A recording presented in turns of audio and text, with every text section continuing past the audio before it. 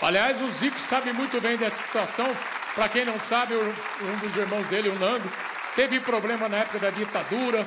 Ele sabe muito bem da, do que passa uma família. Então, ele sempre foi uma voz para alertar o brasileiro na hora de votar, para saber que esse país tem tudo para dar certo. Porque quem morou fora, ele, no Japão, vocês não têm ideia.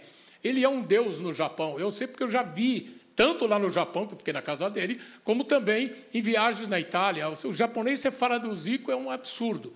E o respeito e o carinho, mesma coisa na Itália e em outros países. Então, a visão crítica é diferente de quem morou fora.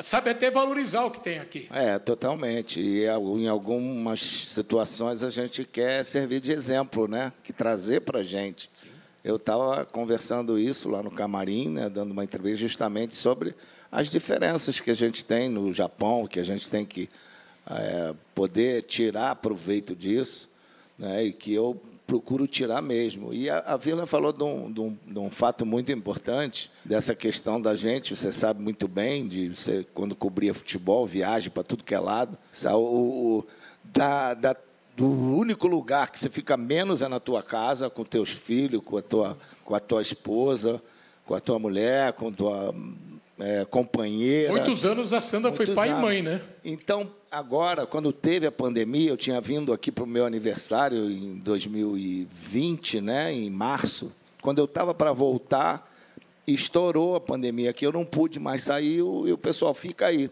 Foi a primeira vez em 46 anos de casado que eu fiquei quatro meses na minha casa, dormindo todos os dias com ela. E curtindo a minha casa, curtindo ela, a gente se curtindo, nós dois.